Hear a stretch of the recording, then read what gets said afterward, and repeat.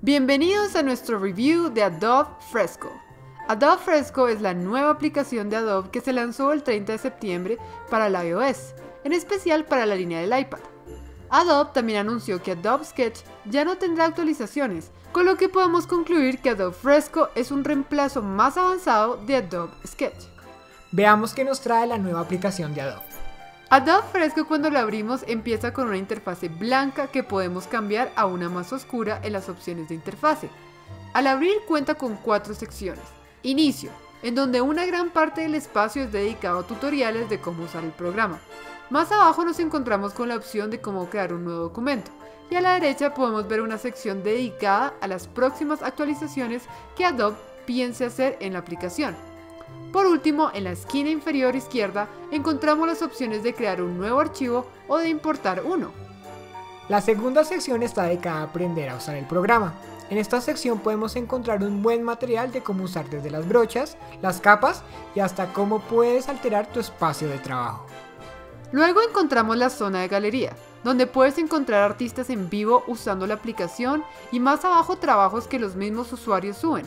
Todo está respaldado por Behance. La última sección está dedicada a tu trabajo, una sección donde podrás ver tus documentos, que si estás conectado con Creative Cloud, los archivos se suben automáticamente a la nube. Y la otra sección dedicada a los proyectos que has borrado, y podrás borrarlos permanentemente o rescatarlos. La interfaz de Adobe Fresco no es muy parecida a Photoshop ni a sus competidores como Clip Studio Paint, Procreate y RStudio Pro, pero tiene similitudes a su predecesor Adobe Sketch. Ahora pasemos a hablar de las herramientas que atraparon nuestra atención. Muy parecido a Clip Studio Paint, en Adobe Fresco tienes tres tipos de brochas. Está la brocha normal, que todos conocemos que pinta en píxeles.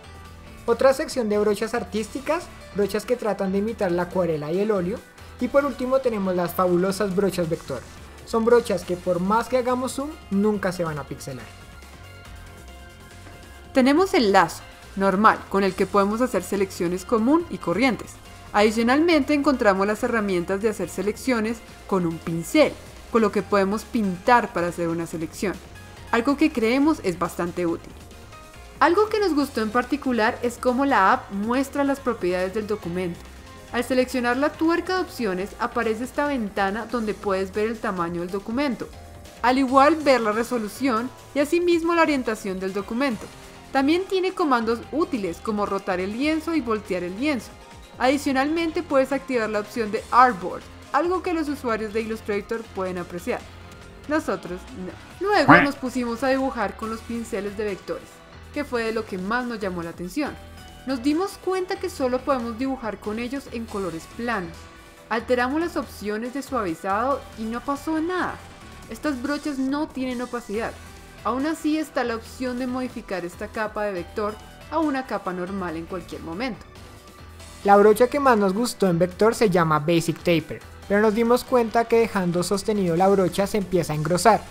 Algo molesto cuando estábamos haciendo cosas delicadas. No sentíamos que tuviéramos control sobre esto. Tengan en cuenta que Clip Studio Paint, las capas vector permiten opacidad y lograr que los colores se mezclen. Ahora mirando las brochas artísticas, inmediatamente al usarlas la tinta se mezcló con lo que estaba en esta capa. Toca crear una capa aparte si no queremos que esto suceda. Otra cosa interesante con estas brochas es que al igual que en tradicional, el blanco no existe en acuarela. Lo que hace el programa al usarlo es diluir la acuarela. Recuerden que también está la opción de secar, por si queremos detener algunas manchas de seguir corriéndose. Cuando estemos usando la brocha de acuarela, podemos controlar el flow del agua. Entre menos flow de agua tengamos, el agua se esparcirá menos, y con el flow más alto hará lo contrario. Eso sería como si en tradicional tuviéramos más o menos agua en el pincel. Mirando las brochas de óleo, lo primero que notamos al usar estas brochas es que el programa comienza a generar una textura como si estuviéramos pintando sobre tela. Asimismo podemos notar una buena sensación de que tanta pintura estamos usando en cada brochazo, ya que el programa detecta la presión con la que estás dibujando. Entre más presión, más pintura y viceversa. Los colores se mezclan de una manera muy agradable tal como si el óleo se encontrara fresco. En el modo de óleo, en vez de tener la cantidad de agua, tenemos la opción de Paint Mix, la cual controla la manera que se mezcla la pintura. Si el valor está más cercano a cero, menos se mezclará la pintura. Al momento de intentar poner blanco sobre el pelo de ella, Si lo haces sobre la misma capa donde está la pintura, toca tener el Paint Mix en un valor cercano al cero para verlo. En conclusión, nos gustó mucho la sensación tradicional de estos pinceles. Indudablemente no hemos visto un efecto similar tanto en Procreate o Art Studio Pro. Lo único que notamos con estas brochas tradicionales es su rendimiento. Algunas brochas tienen latencia al dibujar, más que todas las de acuarela.